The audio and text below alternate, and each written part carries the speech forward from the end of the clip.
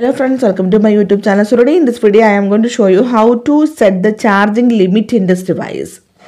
For this open settings, tap on the option battery. Then here you can see the option charging. Tap on this one. So here we can adjust the charging limit. Now I set for 90 percentage.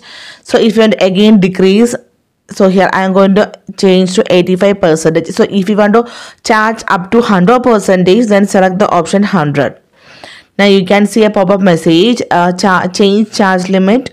Keep uh, keeping your charge limit below 100 percentage help preserve your battery lifespan over time. Okay.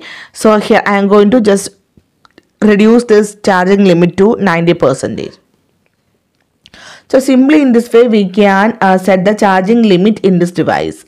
So hope you guys enjoy this video. Thank you for watching. Thank you. Bye bye.